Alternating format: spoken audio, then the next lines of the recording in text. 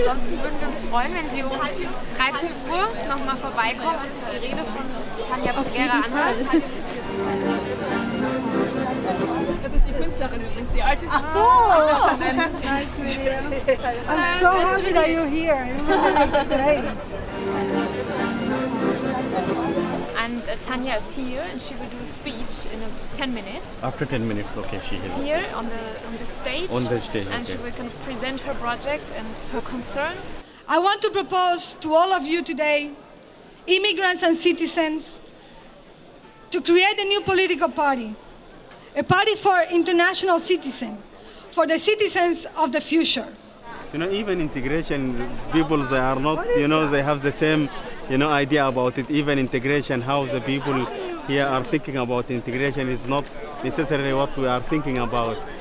I think it would be a very boring world if they succeed to make integration the way they, they try to make it. It's going to be very boring. Like everybody thinking, uh, you know, kind of a Mickey Mouse culture. Like everybody you know, Doing the same thing.